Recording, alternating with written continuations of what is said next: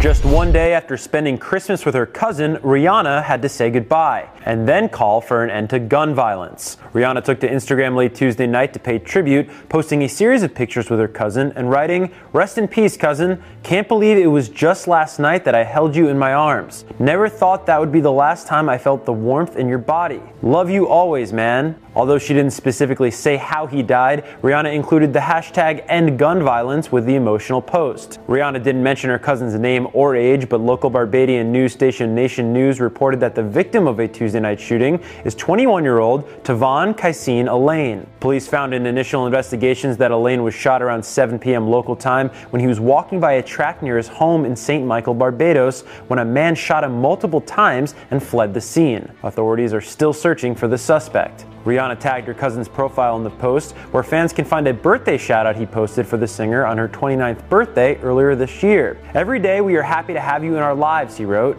hinting at their close relationship. Your presence in my life is a source of joy and happiness.